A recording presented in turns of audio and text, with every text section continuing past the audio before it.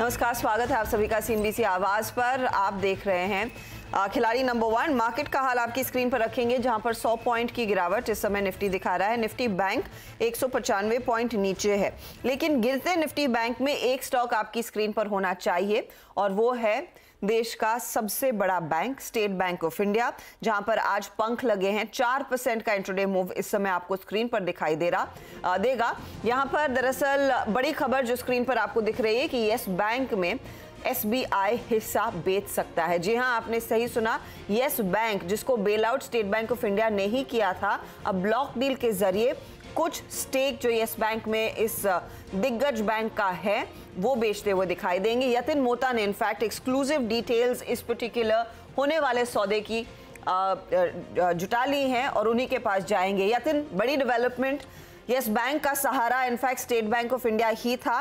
और अब आपके सूत्र क्या कह रहे हैं? बिल्कुल तो जब 2020 में, यानी चार साल पहले लगभग लगभग एसबीआई ने येस बैंक के अंदर कैपिटल इन्फ्यूजन किया था, स्कीम ऑफ़ रिकंस्ट्रक्शन के अंदर। तीन साल बाद वो लॉक इन खुल गया, यानी पिछले साल वो लॉक इन खुल गया। और सूत्र हमको बता रहे हैं क्योंकि एसबीआई को अब अर्जेंसी है कैपिटल रेस करने की तो इक्विटी डायल्यूशन से बेहतर है कि वो अब येस बैंक के शेयर्स के मोनेटाइजेशन की तरफ़ ध्यान दे।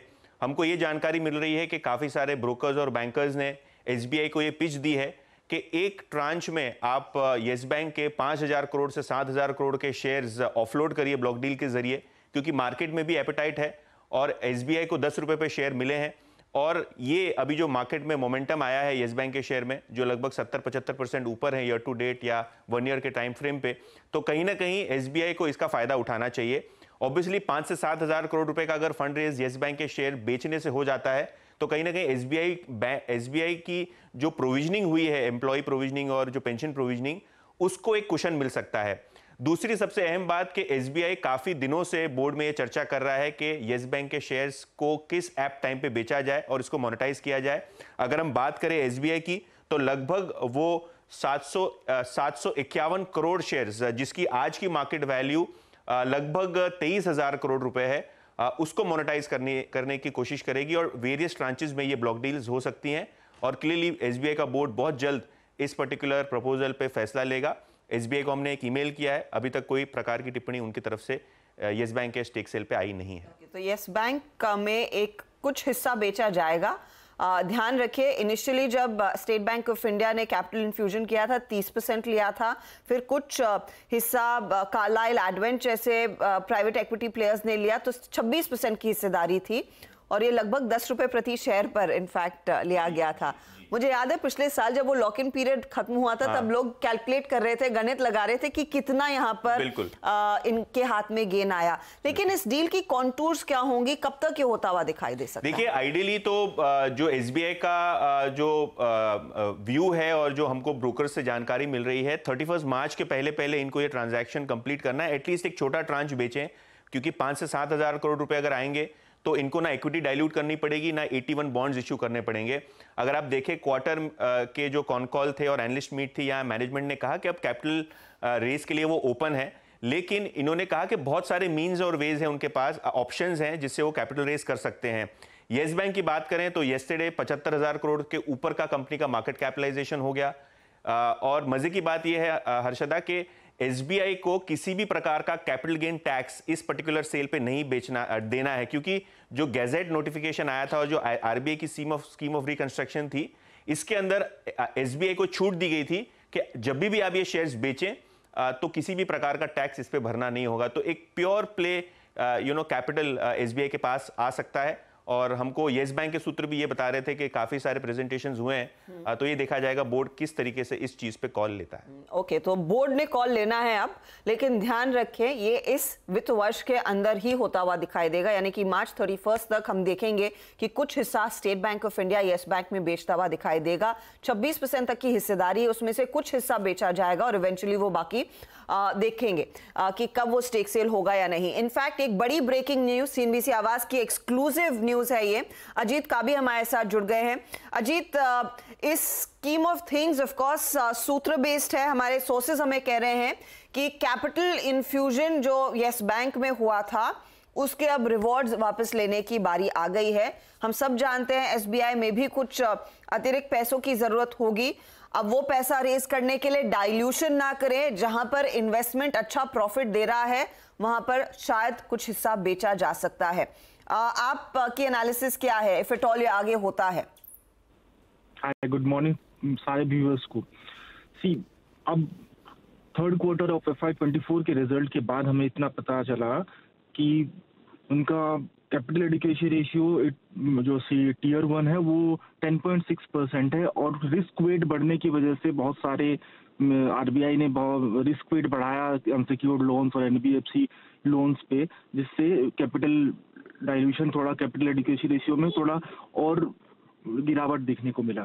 सो so, अब इन सारी चीज़ों पे अब थ्रेशोल्ड के जस्ट ऊपर है तो इस कॉन्कॉल में इस मैनेजमेंट ने क्लियरली कहा है कि उनको एक क्वार्टर और रिसेंट क्वार्टर्स में आने वाले समय में उनको कैपिटल रेज करना है।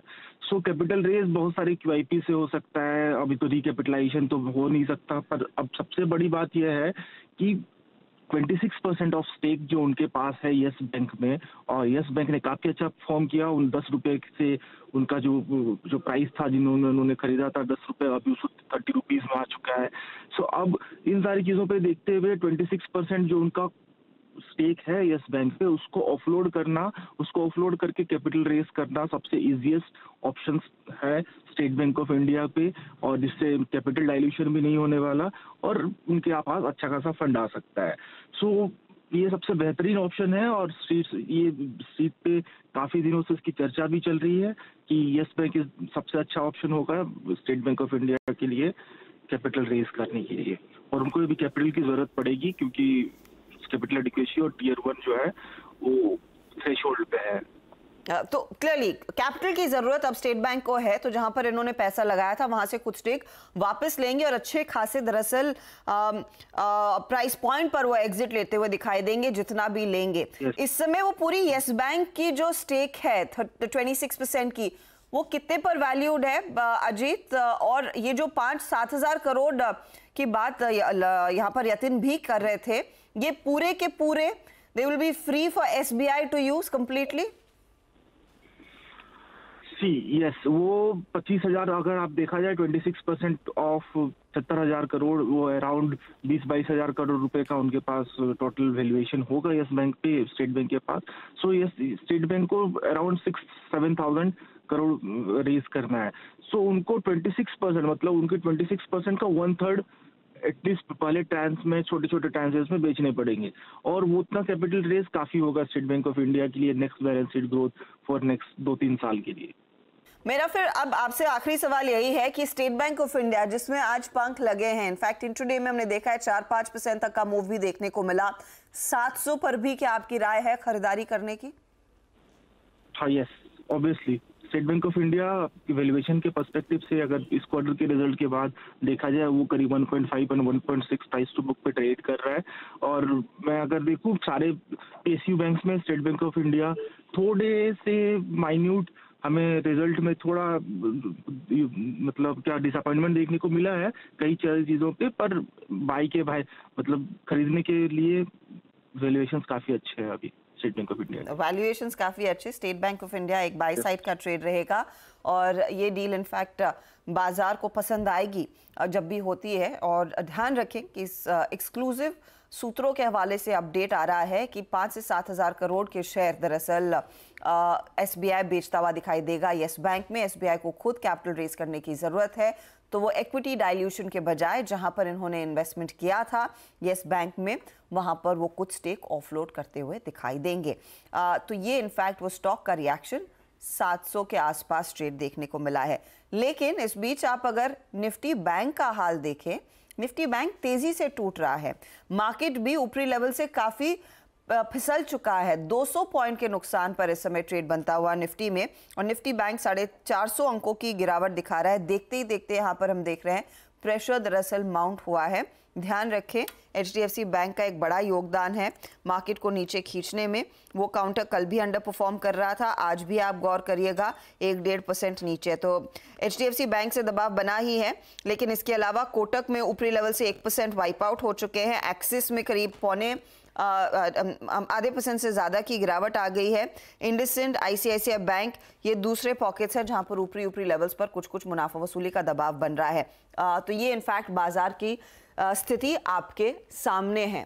ये देखिए निफ्टी बैंक के कॉन्ट्रीब्यूटर सारे निजी बैंक एक तरफ़ जहाँ पर दबाव बन रहा है लेकिन एसबीआई का अच्छा खासा योगदान अगर आज एसबीआई में चार पाँच परसेंट की तेज़ी नहीं होती तो शायद हम निफ्टी बैंक में और भी गहरे क्रैक्स देखते। 500 पॉइंट नीचे और क्लियरली ये दिग्गज बैंक है आईसीआईसी एचडीएफसी जो सबसे ज़्यादा मार डाल रहे हैं इस समय। निफ्टी ऊपरी लेवल से आम, करीब 200 पॉइंट से ज़्यादा करेक्ट कर चुका है। इनफैक्ट अब 300 पॉइंट नीचे आ चुका है डे हाई से और 21,700 के दर्शन हो चुके हैं। अचानक ऐसा क्या हुआ कि इतना गहरी मार पड़ी है? आ, वो आपकी स्क्रीन पर लेकर आएँगे लेकिन हमारे जानकार भी इस समय तैयार हो गए हैं आज के ट्रेड्स के लिए। गुड मॉर्निंग जेंटलमैन क्लियरली थोड़ा सा टफ हो गया मार्केट अचानक वो सेल ऑफ़ एक तरफ़ वो एसबीआई में तेज़ी लेकिन बाकी बारी बैंक्स में भारी नुकसान देखने को मिल रहा है।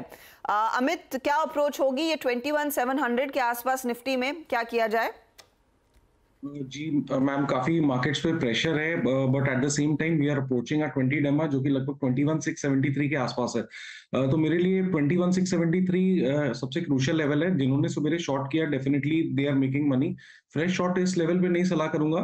लेकिन अगर क्लोजिंग बेसिस में 673 टूटता है तो फिर लगता है then another 200 points will go week के स्टार्टिंग से हम यही कह रहे थे कि problem area for the market is bank Nifty bank Nifty ने वंस अगेन अपना हंड्रेड एमा ब्रेक कर दिया है तो वहाँ से सारी वीकनेस आ रही है। निफ्टी को कभी रिलायंस मिल जाता है कभी आईटी मिल जाता है कोई ना कोई सेक्टर हैंड्स अप करता है but the problem area is bank Nifty which is not letting Nifty go for a smooth right तो ट्वेंटी uh, डेमा को वॉच करें वो टूटता है तो फिर पोजिशनली और वीकनेस आएँगी।